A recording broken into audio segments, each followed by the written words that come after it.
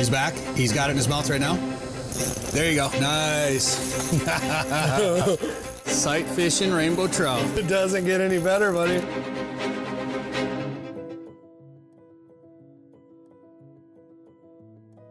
Winter in Minnesota. It's easy for people to cozy up to a fire, or maybe move down south for a few months. But for the throng of anglers who wait for lakes to freeze up each year, this is paradise. Today we're out with Garett Svir from Slab Seeker Fishing to target rainbow and brown trout, and we're going to do it in a way that it's arguably the most exciting method possible. Lens is a little fogged up, but we just got in here, just got set up, and you were marking fish immediately, Garett. Right away, I dropped down there and I had one. He didn't hit it, he kept bumping it with his head. And so I never seen the waxworm disappear. I can just barely make out my jig. But that's a good sign. There's a few around today. While we will be using electronics, Garett augered out holes big enough for us to look through that clear water to see a fish are down there chasing our bait around. How deep are we? We're set up in 10 feet of water here, and we're fishing about halfway down the water column. And that seems to be kind of the deal. They're about halfway down, you get their attention from out in that deeper water.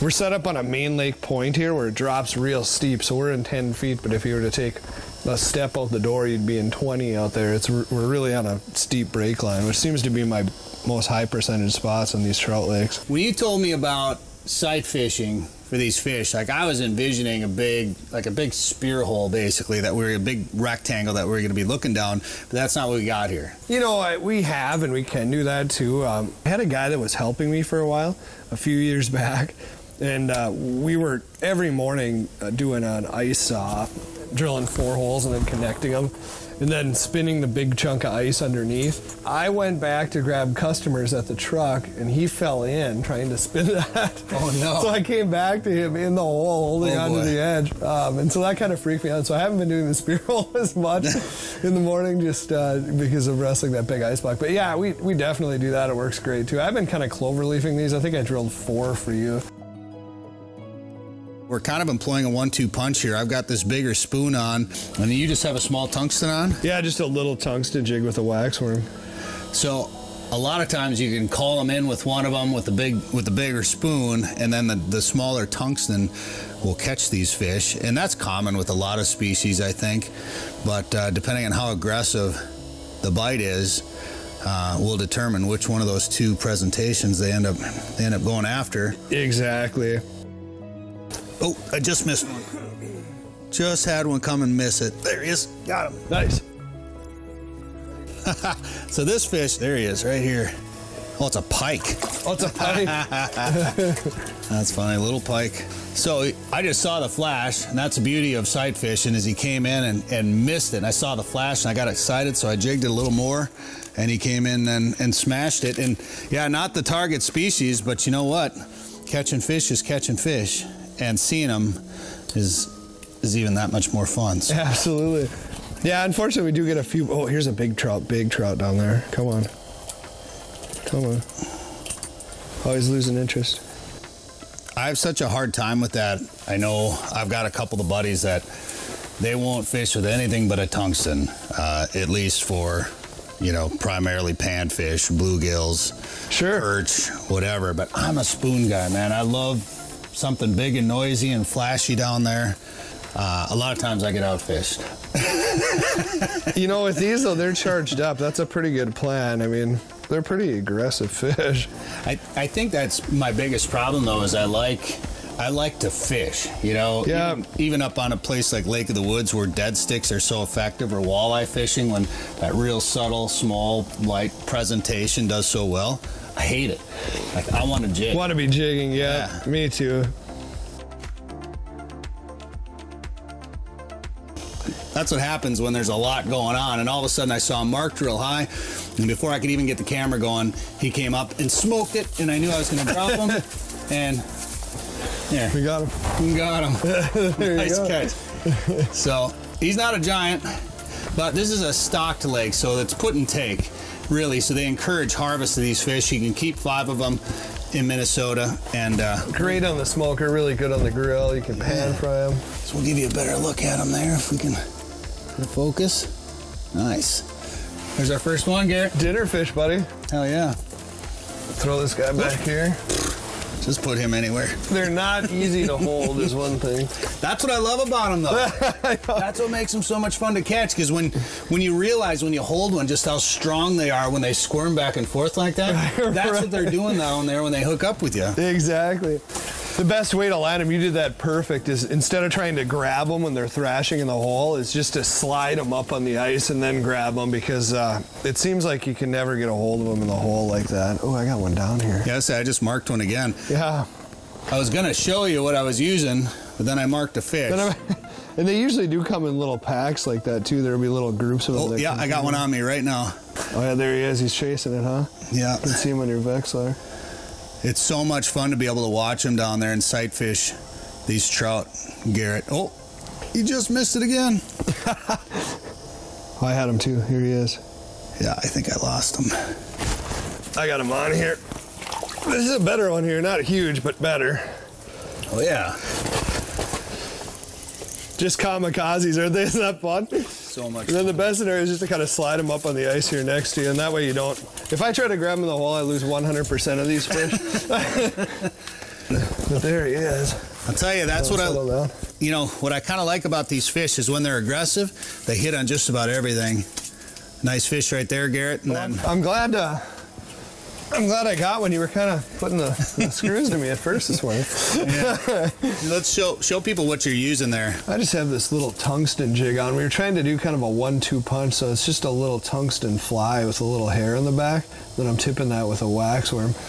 And uh, I told Bret we needed small, and he said this spoon catches everything. And he was right. He's seen ten times more fish than I have this morning with that spoon. I'll tell you what, this Al's goldfish, am I getting a focus on it? I can't, oh yeah, there we go. It's got this bent shape to it and this big shiny gold color to it. And I didn't know much about Al's Goldfish Lure Company. And then I got introduced to him up at Lake of the Woods. And we put on this 49er and it caught all our fish. I, I tried a couple of different lures right away, Garett. Once I switched to this one, I didn't take it off the entire The- the rest we of the day? fishing. Everybody else I was catching fish all caught it on it. So, company's been around for 70 years. Has it really? They're from out east, and they actually make lures that are coated in 22 karat gold. Wow. This one's not. This is just a gold color. But uh, if it catches fish, I don't care what it's coated. in. right, exactly.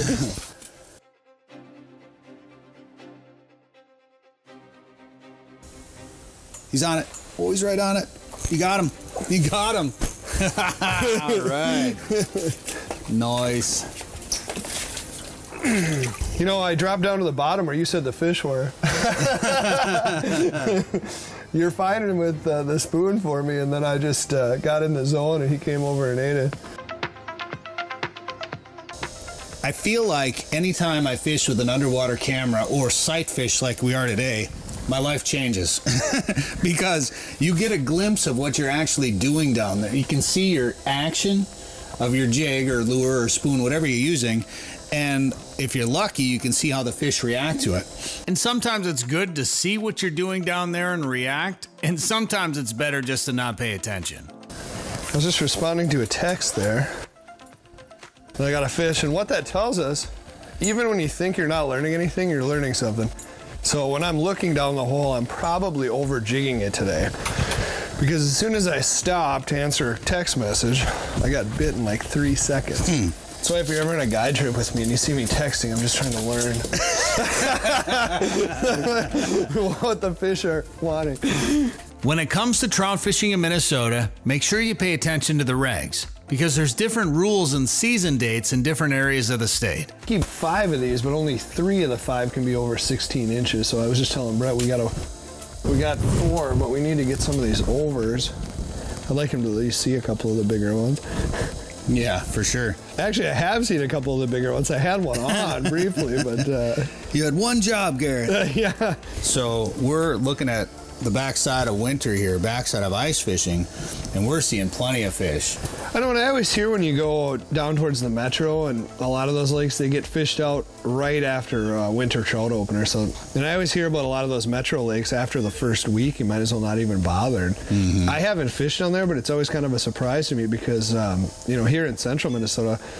Uh, uh, the few lakes that, that we have here for trout, they produce fish throughout the whole season. I mean, it, it gets a lot of times towards the end of March, it, fishing can get really super good for them, almost the best bite of the whole winter.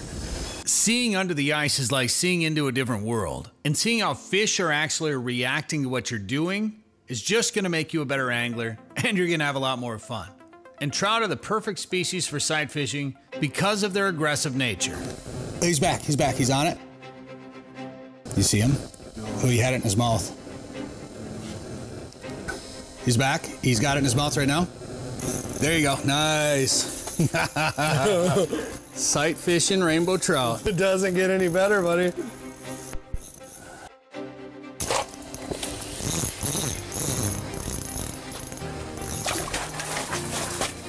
Heck yeah. Beautiful. That's pretty cool. Love it. So that fish came in, and we just had a dead stick down while I was filming, and I was watching it, and I had the camera right on it because I wanted to film like Our perspective, yeah. yeah, sight fishing these rainbows. I wanted to get it with the camera. So all of a sudden I saw this rainbow come in. I hit the record button. He ate, ate it, spit it out, came back, ate it, spit it out, and then I realized I wasn't recording anyway.